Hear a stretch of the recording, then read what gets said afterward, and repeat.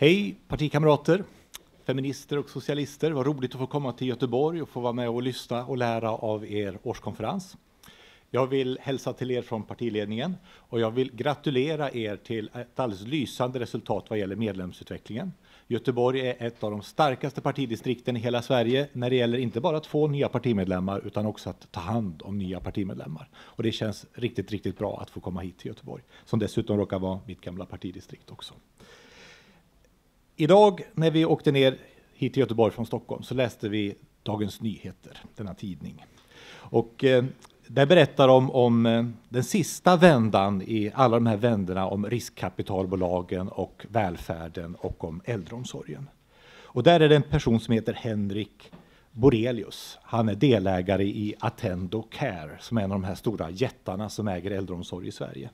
Nu ska Attendo Care säljas och han kommer att tjäna kanske 700 miljoner kronor. Henrik Borelius, han är bror till Maria Borelius som var en kortlivad moderat minister. Eh, och eh, han sitter också i regeringens välfärdsutvecklingsråd. Han är alltså en av dem som ger råd till vår regering om hur välfärden och äldreomsorgen ska utvecklas i det här landet. Och han är inte den enda från riskkapitalbolagen som sitter där. Och vilka bra råd han har gett när han kan kamma hem 700 miljoner kronor. Men den andra delen av den artikeln, det är ju alla skandalerna. Alla de äldreboenden där personalen har varit allt för få, har fått springa allt för snabbt och där våra föräldrar och mor och farföräldrar inte har fått den vård som de är värda. Så ser Sverige ut 2012. Och det här det visar att vi har en politik som har kapsejsat. Att vi har en regering som inte längre vill lösa de grundläggande samhällsproblemen och där man sätter bocken till trädgårdsmästare. Där man låter de som orsakar problemen styra politiken. Och en sån regering, den måste vi byta ut. Vi är det mest konsekventa och det viktigaste oppositionspartiet i Sverige idag. Vi är det inte i kraft av att vi är störst eller flest, utan vi är i kraft att det är vi idag som har den tydliga politiken. I kraft att vi har alternativen till den här regeringens politik. Det är det som gör oss till det viktigaste oppositionspartiet.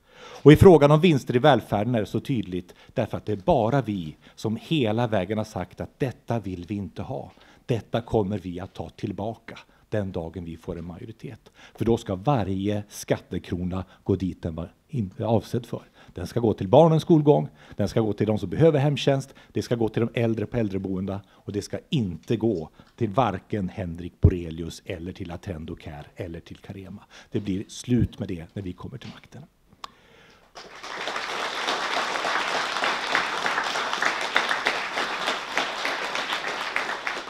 Det här, det är våran roll i svensk politik, att vara den idémässigt tydliga oppositionen. Kontrasten till en trött regeringspolitik. En regering som förnekar massarbetslösheten, som har slutat till och med prata om klimatfrågan, som försöker skyffla undan de utförsäkrade från sjukförsäkringen och som inte längre har ambitionen att ge lika lön åt män och kvinnor i Sverige.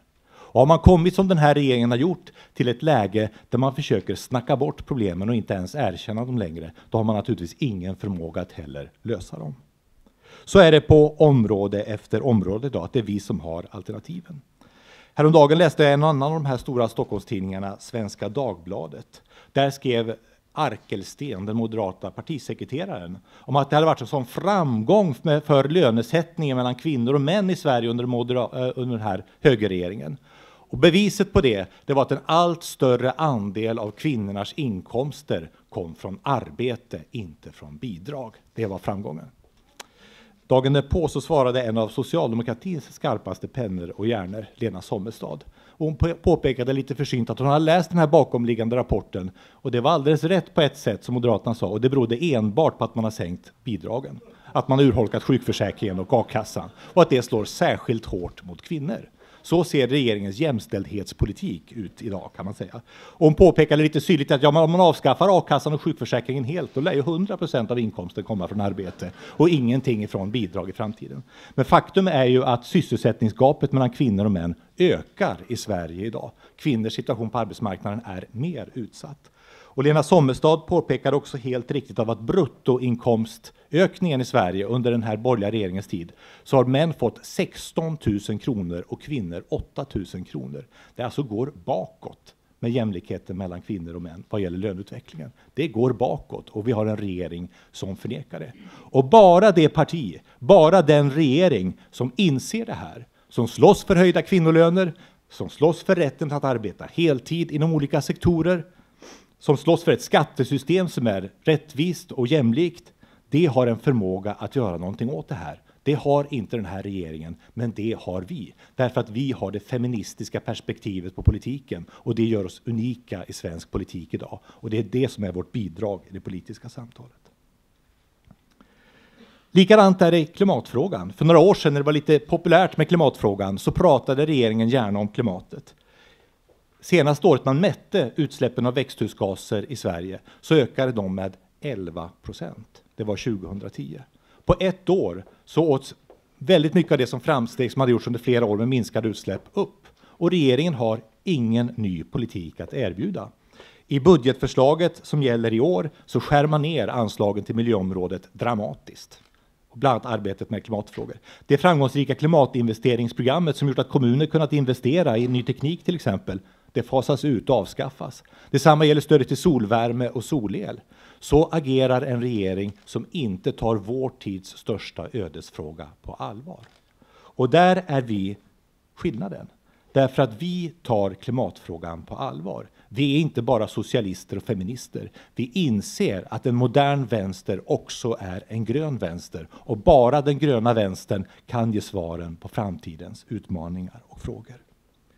Vi har politiken. I en tid då världens ledare sviker, i en tid då världens ledare inte förmår samla sig till de nödvändiga besluten, då säger vi vi ska gå före.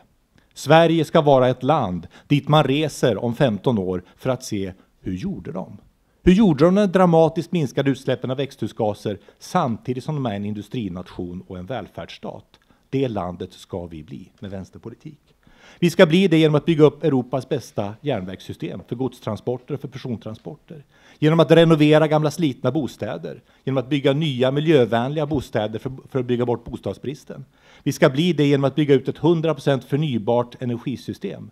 Vi ska bli det genom att investera i ny bra teknik för framtiden. Och samtidigt så ska vi skapa de nya jobben i Sverige som reser oss ut ur massarbetslösheten. Därför att regering, när regeringen inte inte ens ser problemen så ser vi både problemen och möjligheterna som tar oss framåt. Visionen om ett bättre samhälle.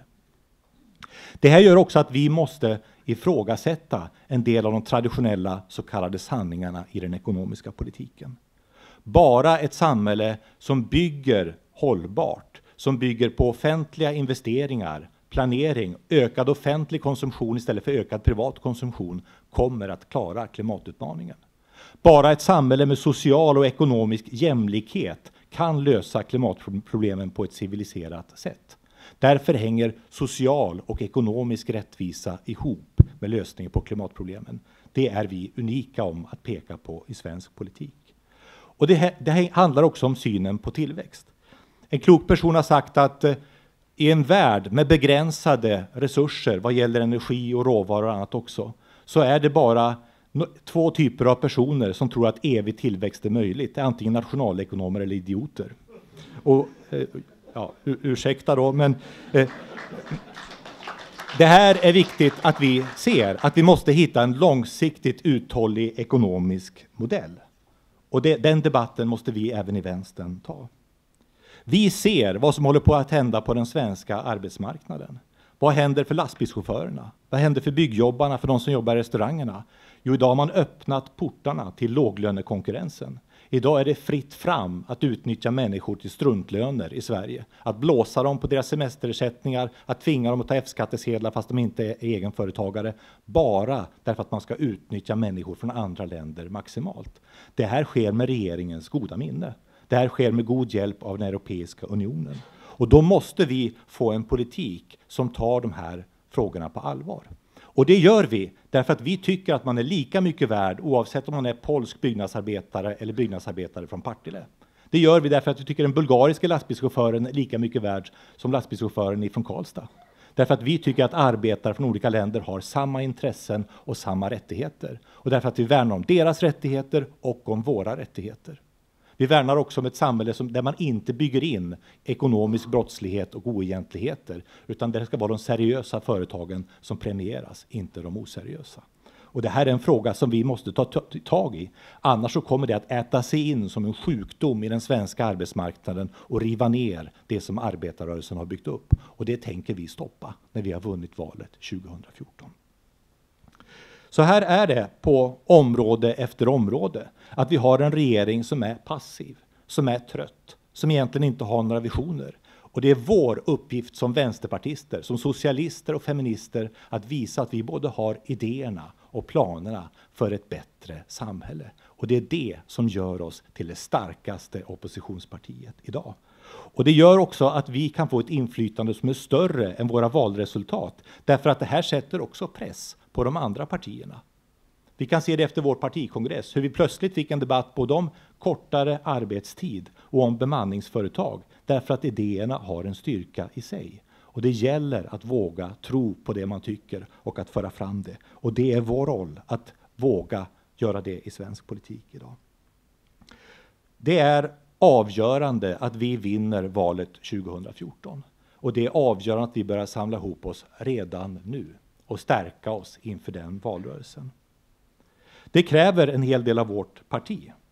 Det kräver att vi blir fler medlemmar, att vi blir starkare partiorganisationer, bättre utbildade. Det kräver att vi i väldigt god tid diskuterar hur vi ser på regeringsfrågan, framförallt hur vi ser på politiken vi vill ha. Därför att det är det som är det viktiga. Vilken politik vill vi se framöver? Att vi diskuterar det i god demokratisk ordning i partiet i god tid före valrörelsen är här. Och att vi ökar vår kraft att driva opinionsarbete på gator och torg och där människor finns av egen kraft, inte beroende på andras. Och det är de här utmaningarna som vi ska ta tag i nu som parti under de kommande åren. Att bygga oss starkare för att vinna valet 2014. Och vi vet att den bästa regering Sverige skulle kunna få, det är en regering där det sitter många vänsterpartister och som bedriver bra vänsterpolitik. I det här arbetet så kommer Göteborg att vara viktigt. Göteborg är den största staden i Sverige där vi är med och styr. Det är viktigt att den rödgröna majoriteten lyckas i Göteborg.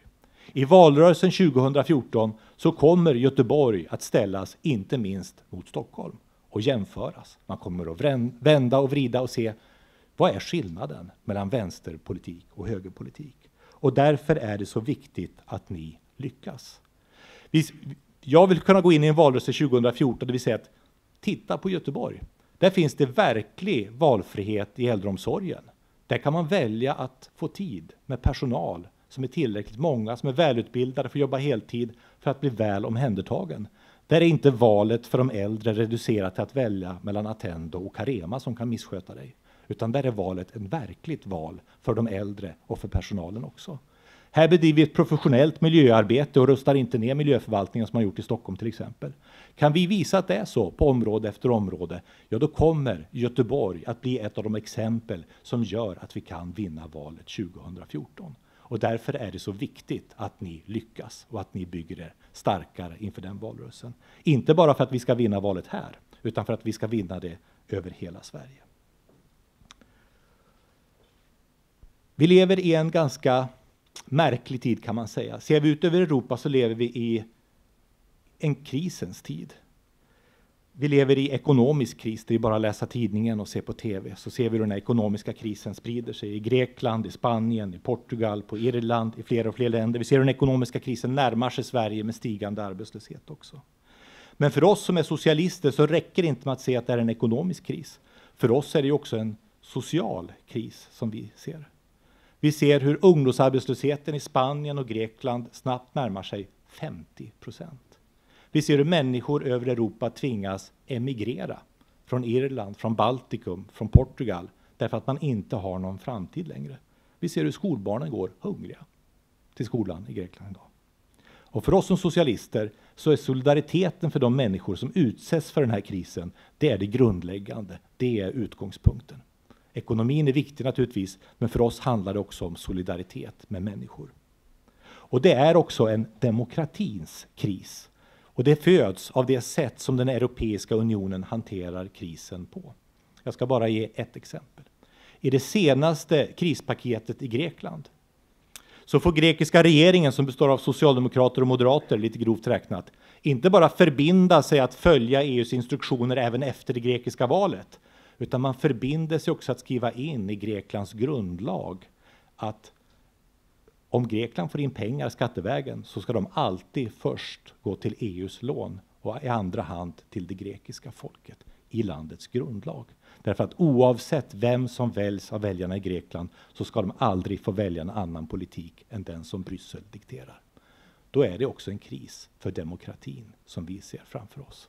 Och därför är vårt hjärta med demonstranterna på gatorna med de som strejkar för arbetsrätten, med de som slåss för sina välfärdssystem. De är våra vänner i Spanien, på Irland, Italien och i Grekland. Vi ställer inte upp på en bild där de hånas och förklenas som lata eller odugliga när vi vet att ansvaret för krisen ligger någon annanstans. De är samma som oss, vi är samma som dem. Vi har samma intresse av att bekämpa det som är orsaken till den här krisen.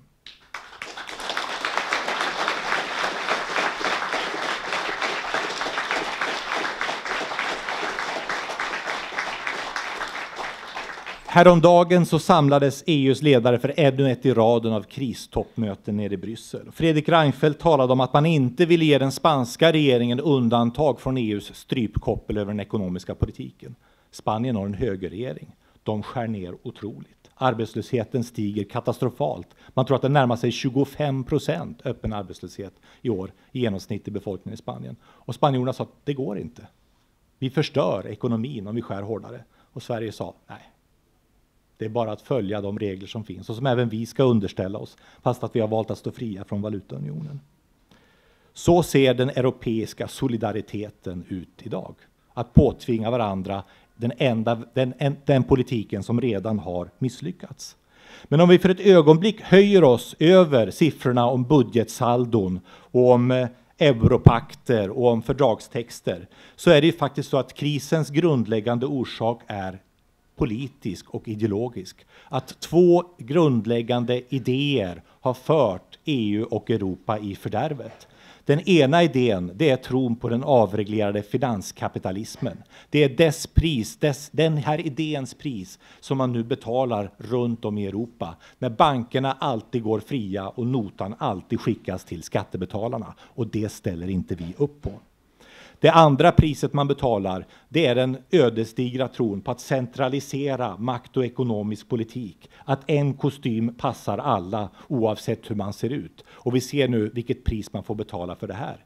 Det är två av högerns bärande idéer som är själva orsaken till krisen i Europa. Och därför ska inte bara krisen utan också det politiska fundament dessa idéer som den bygger på bekämpas i grunden och bytas ut. Därför att först då kan krisen hävas och vi kan bygga ett mer jämlikt samhälle och ett välfärdssamhälle tillsammans.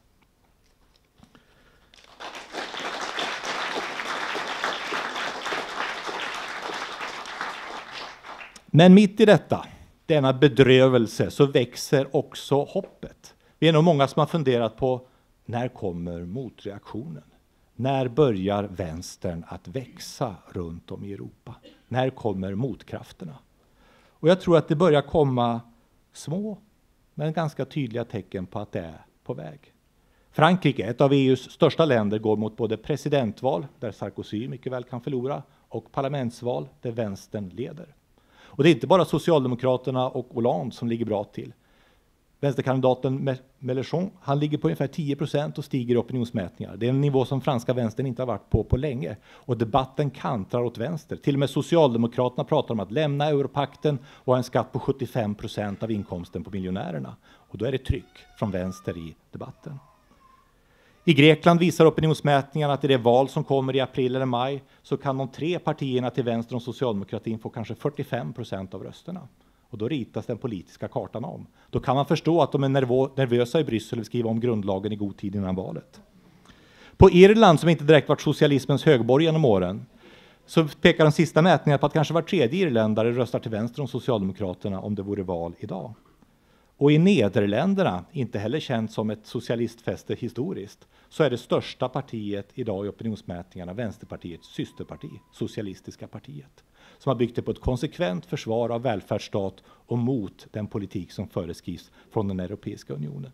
Det är på väg att hända någonting. Motståndet är på väg att växa.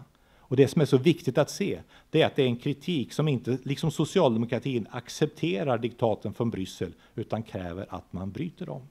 Och därför kommer det bli viktigare än någonsin för oss att vi knyter banden närmare våra vänner ute i Europa och att vi gemensamt formulerar ett alternativ. Där finansmarknaden äntligen regleras och görs till en tjänare, inte till en herre över politiken. Där vi använder offentliga investeringar och kapitalbildningar för att få fart på hjulen och sätta människor i arbete. Och där vi inte accepterar att demokratin körs över och makten centraliseras till Bryssel.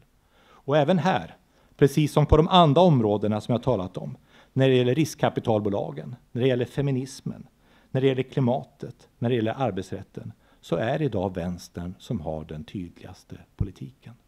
Och därför är vi idag Sveriges viktigaste oppositionsparti. Och vi har de viktigaste idéerna för att skapa ett bättre samhälle i framtiden. Och det här mötet är ett steg på vägen dit. Tack ska ni ha.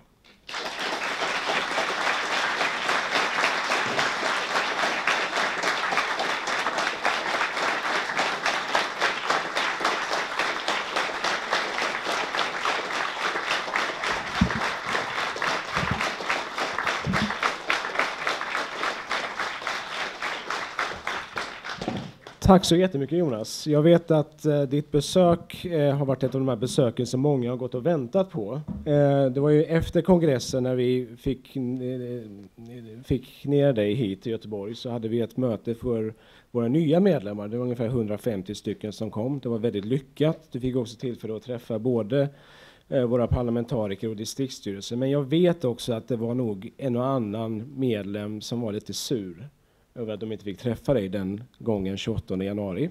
Och då lovade jag att vi skulle fixa till det där. Och därför vet jag att många är glada över att du är här och du har ju också smickrat oss väldigt mycket i ditt tal. Eh, och, mycket, och det ligger mycket i det du säger, det är helt sant. Eh, vi, är, vi är ett bra distrikt, vi har inte riktigt nått ända vägen fram med allting vi vill, men vi är på god väg dit. Tack så jättemycket för att du eh, tog dig tiden. Och som tack får du förstås en nejlika och även här då har vi satt in pengar på fristadsfonden så att pengarna kan komma till användning för att hjälpa asylsökande. Tack så jättemycket Jonas.